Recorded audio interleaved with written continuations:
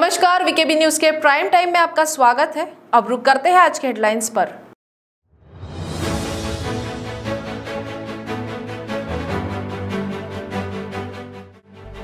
लोकमत media द्वारा 24 अक्टूबर को राष्ट्रीय अंतरधर्मीय सम्मेलन का आयोजन। नागपुर के सुरेश भट्ट सभागृह में होगा सम्मेलन का आयोजन।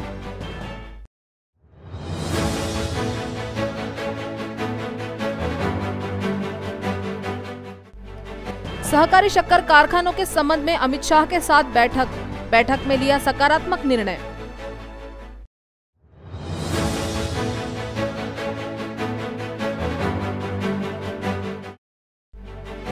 और कलमना में गिरे पुल के विरोध में शिवसेना उतरी सड़क पर, केंद्रीय मंत्री गडकरी का किया विरोध।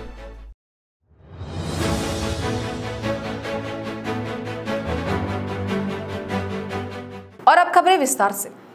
लोकमत मीडिया ने 24 अक्टूबर 2021 को राष्ट्रीय अंतरधर्मीय सम्मेलन का नागपुर में आयोजन किया है। मध्य भारत में ये अपने ढंग का पहला कार्यक्रम होगा। सम्मेलन 24 अक्टूबर को सुबह साढ़े नौ बजे सुरेश भट्ट ऑडिटोरियम में हो रहा है, जिसकी जानकारी लोकमत समूह द्वारा प्रेस क्लब में आयोजित पत्र परिषद के दौरान दी गई। पत्र परिषद के दौरान बताया गया कि सम्मेलन का विषय होगा सांप्रदायिक सौहार्द के लिए वैश्विक चुनौतियाँ और भारत की भूमिका। लोकमत के नागपुर संस्करण के स्वर्ण जयंती महोत्सव के तहत ये अनूठा आयोजन किया जा रहा है। केंद्रीय भूतल परिवहन व राजमार्ग मंत्री श्री नितिन गडकरी सम्मेलन के मुख्य अतिथि होंगे, जबकि महाराष्ट्र विधानसभा में विपक्ष के नेता श्री देवेंद्र फडणवीस एवं नागपुर के महापौर श्री दयाशंकर तिवारी विशिष्ट अतिथि के रूप में उपस्थित रहेंगे। इस सम्मेलन में आर्ट ऑफ़ लिविंग बेंगलुरु के संस्थापक पूज्य गुरुदेव श्री श्री रविशंकर जी, हरिद्वार के संस्थापक पूज्य स्वामी बाबा रामदेव जी अहिंसा विश्व भारती, दिल्ली के संस्थापक पूज्य आचार्य लोकेश मुनि, दरगाह अजमेर शरीफ, अजमेर के गद्दी नशीन पूज्य हाजी सैयद सलमान चिश्ती जी, जीवन विद्या मिशन, मुंबई के संस्थापक पूज्य प्रहलाद वामनराव पैजी, मुंबई के आर्च बिशप पूज्य cardinal Oswald Gracias ji, Mahabodhi international meditation centre Leh के संस्थापक पूज्य भिक्खु संघसेना जी और B A P BAPS Swaminarayan Sanstha के ब्रह्मा विहारी दास स्वामी जी प्रमुख वक्ता रहेंगे। ब्रह्मा विहारी दास स्वामी जी सम्मेलन में भाग लेने के लिए विशेष रूप से अमेरिका से पधार रहे हैं। जैसा कि हम सब आज देख रहे हैं कि दुनिया के कई हिस्सों में धर्म के नाम पर लोगों को निशाना बनाया जा रहा है। उन्हें परेशान किया जा रहा है। उन पर अत्याचार हो रहे हैं और यहाँ तक कि निर्दोषों की हत्या भी की जा रही है। जब ऐसी दुर्भाग्यपूर्ण तथा निंदनीय घटनाएँ बड़े पैमाने पर हो रही है, तब भारत जैसे धर्मनिरपेक्ष राष्ट्र की भूमिका ज़्यादा महत्वपूर्ण हो जाती है। क्योंकि हमारे देश में सदियों से सभी धर्मों एवं पंथों के लोग सौहार्द के साथ रहते हैं। हमारी वैदिक संस्कृति ने हमें वसुधैव कुटुंबकम का मंत्र सिखाया है, जिसका अर्थ होता है कि पृथ्वी पर रहने वाले सभी लोग एक परिवार की तरह है। हमारी संस्कृति प्रेम, सहिष्णुता और भाईचारे की है। सम्मेलन का एकमात्र मुख्य उद्देश्य विश्व में भाईचारे की भावना को मज़बूत करना है। नागपुर से उठने वाली ये आवाज़ पूरी दुनिया में गूंजनी चाहिए और वह प्रेम, शांति तथा सांप्रदायिक सौहार्द का संदेश फैलाए।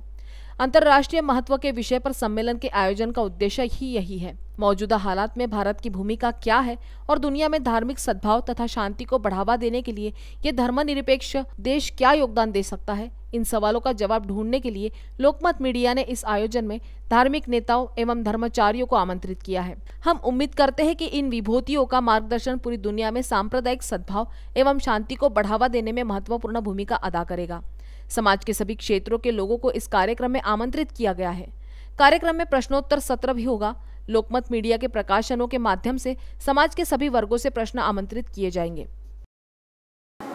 लोकमत के स्वर्ण जयंती के अवसर पर हमने 24 अक्टूबर 2021 को नेशनल इंटर रिलीजियस कॉन्फ्रेंस का आयोजन किया है, जिसमें हमने, जिसका विषय है global challenges to communal harmony and role of India. सांप्रदायिक सौहार्द के संदर्भ में वैश्विक चुनौतियाँ और भारत की भूमिका। इस कॉन्फ्रेंस में गुरुदेव श्री श्री रविशंकर जी, बाबा रामदेव जी, अहिंसा विश्व भारती के संस्थापक आचार्य लोकेश मुनि जी, गद्दी नशीन दरगाह अजमेर शरीफ के हाजी सैयद सलमान चिश्ती जी जीवन विद्या मिशन के प्रहलाद वामन और पै जी, मुंबई के archbishop cardinal Oswald Gracias ji, Mahabodhi international meditation centre Leh Ladakh के भिक्खू सिंह, संघ सेना जी तथा B A P S Swaminarayan Sanstha के ब्रह्मा बिहारी दास स्वामी जी शिरकत करेंगे और अपने विचार व्यक्त करेंगे। यह कार्यक्रम, जैसे मैंने आपको पहले भी शायद बताया है कि 24 अक्टूबर 2021 को सुबह 10 बजे नागपुर के सूरज भट्ट सभागृह में आयोजित किया गया है। नहीं, अभी हमने आमंत्रण भेज रहे हैं अभी उनको अभी अभी उसको, इस समय पे कुछ भी कहना ठीक नहीं है। हम उनको आमंत्रित करने जा रहे हैं। इस कार्यक्रम में चीफ गेस्ट जो है, वो हमारे लोकप्रिय केंद्र, केंद्रीय मंत्री श्री नितिन जी गडकरी हैं और इस अवसर पर प्रमुख अतिथि के रूप में महाराष्ट्र के विधानसभा के विपक्ष के नेता श्री देवेंद्र फडणवीस जी और नागपुर शहर के महापौर श्री दयाशंकर जी तिवारी उपस्थित रहेंगे। महाराष्ट्र के शक्कर कारखानों को मदद करने संबंध में केंद्रीय सहकारिता मंत्री अमित शाह के साथ बैठक ली गई। ऐसी जानकारी विरोधी पक्ष नेता देवेंद्र फडणवीस ने दी। साथ ही उन्होंने बताया कि इस बैठक में शक्कर कारखानों के संबंध में सकारात्मक निर्णय लिया गया। केंद्रीय मंत्री राव साहेब दानवे के नेतृत्व में महाराष्ट्र के सहकारी शक्कर कारखानों को मदद करने के बारे में और उनकी समस्या हल करने के लिए केंद्रीय सहकार मंत्री अमित शाह के साथ विरोधी पक्ष नेता देवेंद्र फडणवीस और अन्य भाजपा नेताओं ने बैठक की। पिछले 15-20 साल सहकारी शक्कर कारखानों को इनकम टैक्स की नोटिस एफआरपी से ज़्यादा रेट देने की वजह से आ रही थी। अब भी ऐसे नोटिस आए हैं। इस संबंध में केंद्रीय सहकारिता मंत्री अमित शाह से बात की गई और उन्होंने इस पर सकारात्मक निर्णय लिया। ऐसी जानकारी देवेंद्र फडणवीस ने दी। महाराष्ट्रातल्या सहकारी साखर कारखान्यांना मदत करण्याच्या संदर्भात आणि त्यांचे प्रश्न सोडवण्याच्या संदर्भात सहकारिता मंत्री केंद्र सरकार माननीय अमितभाई शहासाहेब यांच्याकडे आमची बैठक झाली. केंद्रीय राज्यमंत्री रावसाहेब दानवे पाटील यांच्या नेतृत्वामध्ये आमचं डेलिगेशन त्यांना भेटलं आणि सर्व अधिकाऱ्यांसोबत वेगवेगळे जे प्रश्न आहेत ते प्रश्न त्या ठिकाणी ज्यांना सहकारी साखर कारखानदारी नीट माहिती आहे त्याच्या अडचणी माहिती आहेत अशा सगळे प्रमुख लोक सोबत होते आणि त्यांनी त्या मांडल्या. आणि अतिशय सकारात्मक आणि विशेषतः सहकारी साखर कारखानदारीला नवसंजीवन मिळेल अशा प्रकारची बैठक आज या ठिकाणी पार पडली आहे. विशेषतः यामध्ये एक आत्ता सगळ्यांना अडचणीचा असलेला मुद्दा सहकारी साखर कारखान्यांना आलेल्या इन्कम टॅक्सच्या नोटिसेस एफआरपीपेक्षा जास्त दर दिल्यामुळे जवळजवळ गेले पंधरा वीस वर्ष हा मुद्दा सातत्याने बाहेर येतो आणि सहकारी साखर कारखान्यांना त्याचा त्रास होतो. आणि आताही तशा नोटिसेस आलेल्या आहेत. आणि म्हणून आम्ही विनंती केली माननीय अमितभाई साहेबांना की आपण याचा काहीतरी परमनंट या ठिकाणी इलाज केला पाहिजे. त्यावर अतिशय सकारात्मक भूमिका त्यांनी घेतली आहे. आणि कोणावरही कारवाई होणार नाही. आणि या संदर्भात जो काही सकारात्मक निर्णय आहे तो येत्या काळामध्ये आम्ही घेऊ अशा प्रकारे त्यांनी सांगितलेला आहे. हा खरं म्हणजे सहकारी साखर कारखान्यांना फार मोठा दिलासा यातनं मिळणार आहे. आणि गेल्या जवळजवळ पंधरा वीस वर्षापासून जो एक प्रश्न कारखान्यांचा होता आणि ज्याचा मोठा त्रास कारखान्यांना होत होता त्यातनं एक चांगला मार्ग यातनं निघणार आहे. चिंता व्यक्त केलेली आहे. मंगलवार की रात करीब 9 से साढ़े नौ के बीच नागपुर कलमना इलाके में सरजाबार के पास नेशनल हाईवे ऑफ़ इंडिया का उड़ान पुल बनने से पहले ही गिर गया, जिसके चलते बुधवार को हल्के दर्जे के उड़ान पुल के विरोध में शिवसेना द्वारा आंदोलन किया गया। इस दौरान केंद्रीय मंत्री नितिन गडकरी और विधायक कृष्णा खोपड़े के विरोध में जमकर नारेबाजी की गई।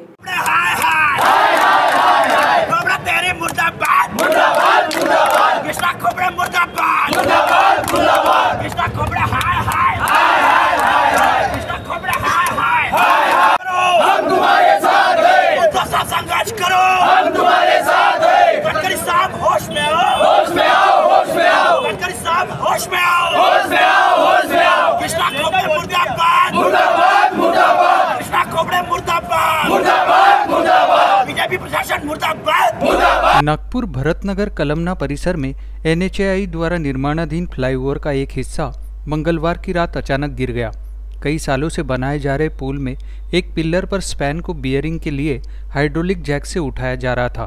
तभी जैक से स्पैन फिसल कर गिर गया। रात करीब साढ़े नौ बजे के बीच चौक से लगे भाग में हुए इस हादसे में कोई जनहानि नहीं हुई। हालाँकि इससे पुल निर्माण में किस दर्जे का कार्य इस्तेमाल किया गया, यह स्पष्ट होता है। ऐसा आरोप शिवसेना की ओर से लगाया गया है। बुधवार को शिवसेना की ओर से इसके विरोध में आंदोलन किया गया। और केंद्रीय मंत्री नितिन गडकरी, साथ ही विधायक कृष्णा खोपड़े के विरोध में जमकर नारेबाजी भी की। पारडी कडमना हा जो उडान पूल आहे, मागील दोन हज़ार चौदापासून हा हे जे काम इथे सुरू आहे, या कामाच्या माननीय पंतप्रधान, या देशाचे पंतप्रधान माननीय नरेंद्रभाई मोदीजींनी दोन हज़ार चौदामध्ये कस्तूरचंद पार्कमध्ये रिमोटद्वारे या पुलाच्या उद्घाटन केलं होतं. भूमिपूजन केलं होतं आणि त्यावेळेस अंडर ब्रिज हा प्रस्ताव पारित झाला होता पण अंडर ब्रिजला ते मंजूर न करता त्यांनी फ्लायओव्हरचं जे आहे प्रस्ताव मंजूर केला आणि दोन हजार चौदापासून हा पुलाचं काम सुरू आहे. या पुलाच्या कामामुळे आतापर्यंत ऑन रेकॉर्ड सांगतो आहे की एकशे साठ लोकांचं बळी गेलेलं आहे. दोन हजार एकोणीस या कामाची डेडलाईन असूनसुद्धा आतापर्यंत हा काम पूर्ण झालेलं नाही आहे. दोन ते तीन वर्ष अजून या कामाला लागणार आहे. आणि या पुलाचं आता तुम्ही पाहिलं की उद्घाटन होण्याआधीच हा पूल जे आहे कोसळलेला आहे. एकीकडे माननीय नितीनजी गडकरी हे म्हणतात की विकासाच्या कामामध्ये शिवसेना ही आडवी येते. माननीय भावनाताई गवळी यांच्यावर त्यांनी मा मागे आरोपसुद्धा केलं. परंतु आता तर या नागपूर शहरामध्ये महानगरपालिका गडकरी साहेबांची आहे मा स्वतः नागपूरचे खासदार गडकरी साहेब आहे आणि त्यांच्या ह्या होम टाऊनमध्ये हे असं जे काम होत आहे ते कुठे ना कुठे चिंतन आणि मंथनाची गोष्ट आहे. मागणी हीच आहे की हे जे निर्दोष नागरिक या याच्यामध्ये जे बळी पडत आहे एकशे साठचे जवळपास नागरिक मरण पावलेले आहे ही खूप दुःखद बातमी आहे. एक एक कुटुंबाच्या जर मुख्य व्यक्ती या पुलामुळे किंवा या कामामुळे जर मृत्युमुखी पडतो तर तुम्ही समजू शकता की त्या घरच्या म्हणजे किती मोठं नुकसान होतो आहे. चौकशी आमची ही मागणी आहे. आम्हाला एक अभिमान आहे की नितीनजी गडकरी आमच्या नागपूरचे खासदार आहे आणि विकास पुरुष आहे यात दुमत नाही आहे. परंतु गडकरी साहेबांच्या होम टाऊनमध्ये हे असं जर काम सुरू आहे तर कुठे ना कुठे गडकरी साहेबांना बाकीचे शहरं सोडून स्वतः नागपूरमध्ये लक्ष लक्ष देण्याची आवश्यकता आहे. चौकशीची मागणी करा आमची माननीय नितीनजी गडकरींना आम्ही निवेदन देणार आहे आणि आम्ही आमच्या पक्षप्रमुख उद्धवजींना सुद्धा निवेदन देणार आहे की हे जे काम नागपूर शहरामध्ये जे अड अडथळे निर्माण होत आहे किंवा काम वेळेवर होत नाही त्यासाठी त्या वेळेवर हे कामं कंप्लीट झाले पाहिजे ही आमची मागणी राहणार आहे. आणि माननीय नितीनजी गडकरींना ही आमची तुमच्या माध्यमाने पुन्हा विनंती आहे की आपण नागपूर शहरामध्येच लक्ष द्यावे कारण की आपण दुसऱ्यांदा खासदार आहे. आम्ही सुद्धा शिवसेनेनी सुद्धा तुम्हाला भरघोस मतं देऊन जे आहे या नागपूरचा विकास करण्यासाठी निवडून दिलेलं आहे. आपण हे जे काम आहे याला चांगल्या याच्याने बघून जे आहे काम पूर्ण वेळेवर कंप्लीट झालं पाहिजे. दलित यूथ पैंथर द्वारा डॉक्टर बाबा साहेब आम्बेडकर चौक में पेट्रोल पंप हटाने के लिए अनशन किया गया। इस दौरान पुलिस द्वारा अनशनकर्ताओं को हिरासत में लिया गया।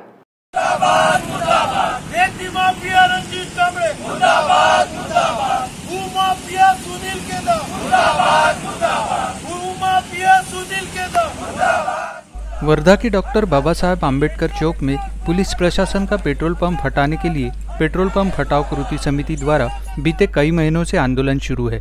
पुलिस प्रशासन, जिला प्रशासन, पालक मंत्री के विरोध में घोषणाबाजी कर तीव्र निषेध व्यक्त किया जा रहा है। दलित यूथ पैंथर के पदाधिकारियों द्वारा जल्द से जल्द पेट्रोल पंप हटाने की मांग की गई। अनशनकारियों को तीव्र होता देख पुलिस ने उन्हें हिरासत में लिया। पेट्रोल पंप नहीं हटाया गया तो और तीव्र आंदोलन करने की चेतावनी अनशनकर्ताओं ने दी है। हा, पेट्रोल पंप येत्या महिन्यात परवाच्या दिवशी कवाळे सरांनी सांगितले की पंधरा येत्या ऑक्टोबर महिन्यात या पेट्रोल पंपचा निकाल लागला नाही. तर येणाऱ्या नोव्हेंबर महिन्यापासून आमचं आंदोलन तीव्र होणार आहे आणि त्यासाठी आम्ही पूर्वतयारी केलेली आहे. करिता आमचा प्रशासनाला अशी विनंती आहे आणि असा हे आहे की हा पेट्रोल पंपात त्वरित तोडगा काढावा आणि या जिल्ह्याचे पालकमंत्री आणि या जिल्ह्याचे आमदार रणजित कांबळे यांना थोडी अक्कल यावी आणि यांनी त्वरित याच्यावर तोडगा काढावा असा आमचा विनंती.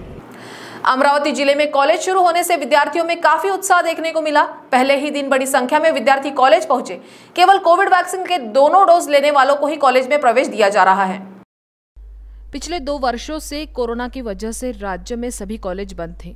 लेकिन कुछ महीनों से कोरोना संक्रमितों की संख्या कम होने से राज्य सरकार ने कॉलेज शुरू करने का निर्णय लिया। बुधवार को संपूर्ण राज्य के कॉलेज शुरू किए गए। कॉलेज शुरू होते ही विद्यार्थी भी काफ़ी खुश नज़र आए।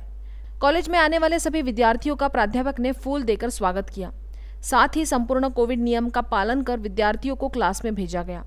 इस दौरान विद्यार्थियों को मास्क, सैनिटाइजर और कोविड के दो डोज लेने वालों को कॉलेज में प्रवेश दिया गया। साथ ही नियमों का पालन करने की अपील की। आमच्या श्री दादासाहेब गवई चॅरिटेबल ट्रस्ट अमरावतीद्वारा संचालित तक्षशिला महाविद्यालयामध्ये आज वीस ऑक्टोबर दोन हजार एकवीसपासून शासनाच्या आदेशानुसार आणि विद्यापीठाच्या परवानगीनुसार नवीन शैक्षणिक सत्राला सुरुवात झाली. त्या अनुषंगानं आज महाविद्यालयात विद्यार्थी आल्याबरोबर महाविद्यालयाच्या परंपरेप्रमाणे एकोणीस महिन्यानंतर ऑफलाईन क्लासेसकरता विद्यार्थी येत आहेत. म्हणून त्यांचं गुलाब पुष्प देऊन प्रवेशद्वारावर आम्ही स्वागत केलं की जेणेकरून ज्या कोविड एकोणीसच्या कालखंडामध्ये जी मानसिकता मुलांची बिघडलेली आहे त्यांच्यामध्ये एक सकारात्मक ऊर्जा निर्माण व्हावी जो आमचा नेहमीचा आदर्श. दोन वर्षानंतर कॉलेज सुरू झाल्यानंतर मला खूप आनंद होत आहे. असं वाटत आहे की जोपर्यंत घरी ऑनलाईन स्टडी केला आहे तोपर्यंत काहीच समजलं जात नव्हतं पण आता जेव्हा ऑफलाईनमध्ये कॉलेजमध्ये आल्यानंतर खूप चांगलं वाटत आहे. वक्त तो चला एक ब्रेक का? मिलते एक छोटे से ब्रेक के बाद. बाय सब जानना चाहते हैं। मेरा फेवरेट कलर मेरा फेवरेट डेस्टिनेशन मेरी फेवरेट डिश पर कोई ये नहीं पूछता कि फेवरेट डिश मैं बनाती कैसे हूँ। अरे यार जिसे टेस्टी खाना पसंद है वो अच्छे टेस्ट तक पहुँच ही जाता है। सुरुचि मसाले। खाने में हो रुचि तो घर लाइए सुरुचि। अपने सपनों की उड़ान भरने की इच्छा तो हर किसी की होती है। पर पंख भी तो मज़बूत होने चाहिए। जो देता है Flywheel aviation academy Flywheel aviation academy एक ऐसा इंस्टीट्यूट है जहाँ पर एयरलाइंस एंड एयरपोर्ट हॉस्पिटैलिटी और टूरिज़्म मैनेजमेंट साथ ही यहाँ campus interview guidance by industry expert practical training at airport expert faculty personal grooming जैसे कई सारे बेनिफिट आप पा सकते हैं। Flywheel aviation academy one degree three job opportunities Flywheel aviation academy gives you a degree और diploma with a job Flywheel aviation academy 365 Gandhinagar LAD college square beside Karnataka bank Nagpur. Break के बाद आपका स्वागत है। बुट्टीपुरी police ने महिला को लूटने वाले आरोपी को गिरफ़्तार किया है। साथ ही आरोपी के पास से पैंतालीस हज़ार का माल जब्त किया है। बुट्टीपुरी पुलिस थाना अंतर्गत उनचालीस वर्षीय मनीषा हिफ से 17 अक्टूबर को मॉर्निंग वॉक से लौटकर आ रही थी। इसी दौरान एक मोटरसाइकिल पर दुपट्टा बांधकर आए अज्ञात आरोपी ने उनके गले का मंगलसूत्र छीन लिया और वहाँ से भाग निकला। जिसके बाद महिला ने अज्ञात आरोपी द्वारा मंगलसूत्र लूटने की शिकायत बुट्टीपुरी पुलिस थाने में की। जिसके बाद पुलिस ने घटना को गंभीरता से लेते हुए तलाश जारी की और 19 अक्टूबर को चंद्रपुर में रहने वाले 40 वर्षीय मन्नू सिंह टाक को हिरासत में लेकर पूछताछ की। आरोपी द्वारा चैन स्नैचिंग की बात कबूल करते ही उससे बगैर नंबर प्लेट की गाड़ी और मंगलसूत्र ऐसा पैंतालीस हज़ार पाँच सौ का माल जब्त किया। शहर में हुड़दंग मचा रहे कुख्यात आरोपी को क्राइम ब्रांच यूनिट चार ने गिरफ़्तार किया। साथ ही आरोपी के पास से लगभग इकतालीस लाख का माल जब्त किया। शहर में कई ऐसे कुख्यात अपराधी हैं जो अपनी दहशत जमाने के उद्देश्य से शहर में हुड़दंग मचा रहे हैं। ऐसे आरोपियों पर पुलिस की कड़ी नज़र है।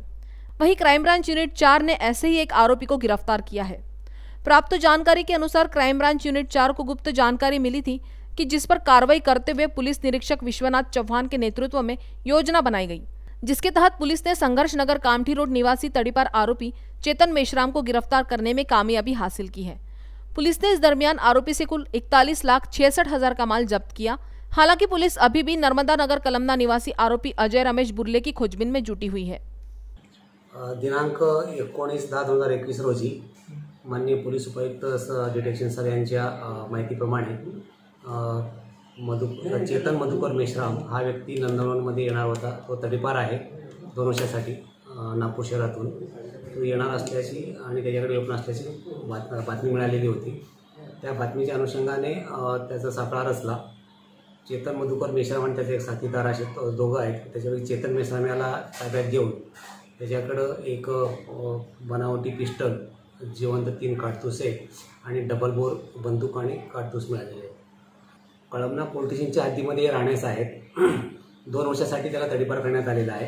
आणि त्याच्यावर विविध प्रकारचे गुन्हे असल्यामुळे त्याला नागपूर शहरातून तडीपार तडीपार करण्यात आलेलो त्या संदर्भात त्याला अटक करण्यात आलेली आहे. नंदनू पोलीस स्टेशनला आपण गुन्हा दाखल केलेला आहे. आणि सध्या पोलीस रिमांड भेटली. त्या अनुषंगाने तपास चालू आहे.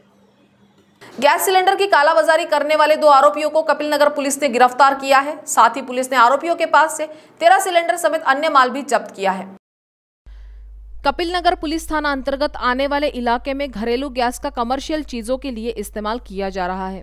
ऐसी गुप्त जानकारी पुलिस को मिली थी, जिसके आधार पर कपिल नगर पुलिस ने कार्रवाई करते हुए आरोपी के घर जाकर उन्हें रंगे हाथ गिरफ़्तार किया। आरोपी घरेलू सिलेंडर ऑटो में डालता हुआ पुलिस को दिखाई दिया। पुलिस ने तुरंत ही दोनों आरोपियों को हिरासत में लिया। ऐसी जानकारी वरिष्ठ पुलिस निरीक्षक अमोल देशमुख ने दी। पुलिस ने इस दौरान नालंद नगर निवासी आरोपी नरेंद्र बावनगड़े और समता नगर निवासी आरोपी नरेंद्र शाहू को गिरफ़्तार कर उनके पास से तेरह सिलेंडर समेत अन्य माल जब्त किया है। पोलीस स्टेशन कपिलनगर हद्दीमध्ये अ, पोलीस स्टेशनच्या गोपनीय आणि डी व्ही पथकाला माहिती मिळाली की पोलीस स्टेशनमध्ये हद्दीमध्ये संन्यालनगर परिसरामध्ये एक व्यक्ती घरगुती वापराचे सिलेंडर आहेत. ते सिलेंडर भरून कमर्शियल यूज करत आहे त्याचा. रिक्षा आणि इतर वाहनांमध्ये तो सी एन जी गॅस भरून त्यांना देत आहे अशी माहिती मिळाली होती. गुन्हे प्रकटीकरण कक्षने त्या ठिकाणी रेड केली. त्यावेळेस तो रेड हँड एका रिक्षामध्ये घरगुती गॅस सिलेंडर ट्रान्सफर करत असताना मिळून आला.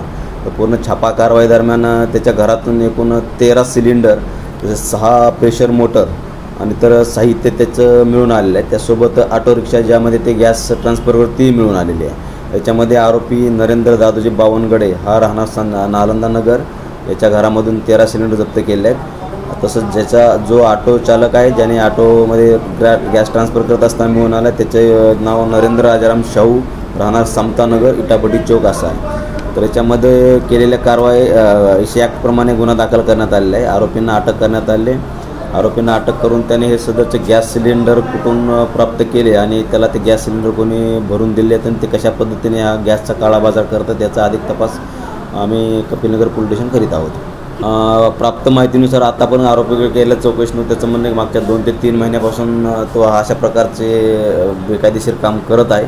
तरी आरोपीकडे अजून कसून चौकशी करून त्याच्यासोबत कोण सामील आहे काय आणि याला कोणी गॅस कंपनीमधून किंवा गॅस एजन्सीमधून कोणी मदत करत आहे का गुन्ह्यासाठी, याचा तपास करीत आहोत आधी. जिला परिषद के इतिहास में पहली बार उपाध्यक्ष पद किसी महिला को मिलने की पूरी संभावना बनती दिख रही है। यहाँ कहा जाए कि ये पक्का है तो भी कोई अतिशयोक्ति नहीं होगी, क्योंकि ओबीसी सीटों की मान्यता रद्द होने के बाद हुए उपचुनाव से स्थितियाँ बदल गई है। हालाँकि ये सब पशु संवर्धन मंत्री सुनील केदार पर है कि वे किसका नाम इस पद के लिए फाइनल करते हैं। दरअसल जिला परिषद को इस बार पहली महिला उपाध्यक्ष मिलने की संभावना इसलिए बलवती हो गई है क्योंकि इस पद पर केदार के बेहद करीबी समझे जाने वाले मनोहर कुंभारे बैठे थे। दुर्भाग्य से उनकी भी सीट ओबीसी मान्यता रद्द होने के चलते बलि चढ़ गई। इतना ही नहीं, महिला के लिए आरक्षित हो गई। पार्टी ने उनके साथ न्याय करते हुए उनकी पत्नी सुमित्रा कुंभारे को टिकट दी। वे चुनाव जीत भी गई है। इसीलिए अब मनोहर कुंभारे की जगह उनकी पत्नी को उपाध्यक्ष बनाए जाने की चर्चा जोरों पर है। हालाँकि 29 अक्टूबर को विशेष सभा में चुनाव होगा और तब यह क्लियर हो जाएगा। वर्ष उन्नीस सौ बासठ में जनपद की जगह जिला परिषदों का गठन किया गया था। तब से अब तक कांग्रेस और भाजपा और कई बार गठबंधन की सत्ता आई, लेकिन किसी भी पार्टी ने महिला सदस्य को उपाध्यक्ष नहीं बनाया था। मतलब उन्नीस से लेकर 2020 में हुए चुनाव के बाद तक पुरुष सदस्य ही इस कुर्सी पर आसीन किए गए हैं। हाँ अध्यक्ष पद पर ज़रूर महिलाओं को अवसर मिला है। पिछले तीन टर्म से तो महिला आरक्षण के चलते अध्यक्ष पद पर महिलाएँ ही आसीन होती रही है। अभी भी रश्मि बर्वे ही अध्यक्ष है। लेकिन अब उपचुनाव के बाद ऐसे हालात बने हैं कि उपाध्यक्ष पद पर भी महिला को काम करने का मौका मिलने वाला है। उपाध्यक्ष के पास सबसे महत्वपूर्ण स्वास्थ्य और बांधकाम विभाग के सभापति पद की भी ज़िम्मेदारी होती है। जिला परिषद के इतिहास में अब तक 16 उपाध्यक्ष हो चुके हैं और सभी पुरुष सदस्यों को ही इस पद की ज़िम्मेदारी मिली है, जबकि छह बार महिला अध्यक्ष बन चुकी है और उन्होंने अपना कार्यकाल पूरी ज़िम्मेदारी से और सकारात्मक तरीके से निभाया भी है। पारचूनी तहसील में कपास की अनुपलब्धता और लगातार पैदावार में गिरावट के कारण इस वर्ष कई किसानों ने सोयाबीन और तुअर की खेती का विकल्प चुना। हालाँकि सोयाबीन की फ़सल अच्छी नहीं होने से सावली के कुछ किसानों ने बिना फ़सल काटे ही उस पर रोटावेटर चला दिया। अब ऐसी स्थिति में किसानों का कहना है कि उनके पास आत्महत्या के सिवाय कोई विकल्प नहीं है। किसानों ने खेत में सोयाबीन की फ़सल इस खरीफ सीज़न में बुआई की थी, लेकिन पौधे में फली ही नहीं आई। सोयाबीन की फ़सल को नकद फ़सल के रूप में देखा जाता है, लेकिन एन दिवाली के पूर्व सोयाबीन की फ़सल ने किसानों को मायूस कर दिया। कृषि विभाग द्वारा किए गए सर्वे के आधार पर नुकसान की भरपाई करने की मांग किसानों ने की है। सोयाबीन की फ़सल पर फूल लगे ही थे कि उस पर कीटों का हमला हो गया। फ़सल पर किसानों ने महँगी दवा का छिड़काव भी किया। बावजूद इसके, कीटों पर नियंत्रण पाया नहीं जा सका। वहीं सितंबर माह में लगातार हुई बारिश ने सोयाबीन की फ़सल को तितर बितर कर दिया। कई किसानों के खेतों में सोयाबीन की फ़सल में अंकुर भी फूटे थे। किसानों ने जैसे तैसे सोयाबीन फ़सल की कटाई भी की। उसमें भी खेत मजदूरों की मजदूरी बढ़ने और उत्पादन से अधिक मजदूरी का खर्च होने की परिस्थिति सर्वत्र देखने को मिल रही है। चिचोली, महादुला, मोगरा, सावली, कान्हा देवी, टेकाड़ी, सकरला निम्बा कुसुमधरा पेंड्री के अधिकांश किसानों ने अपने खेतों में सोयाबीन की फ़सल पर रोटावेटर चला दिया है। इस खरीफ सीज़न की सोयाबीन फ़सलों का जल्द से जल्द नुकसान का मुआवजा मिलने की मांग किसानों ने की है। तो प्राइम टाइम न्यूज़ में आज इतना ही। आपसे कल फिर मुलाकात होगी। तब तक बने रहिए वीकेबी न्यूज़ के साथ। नमस्कार।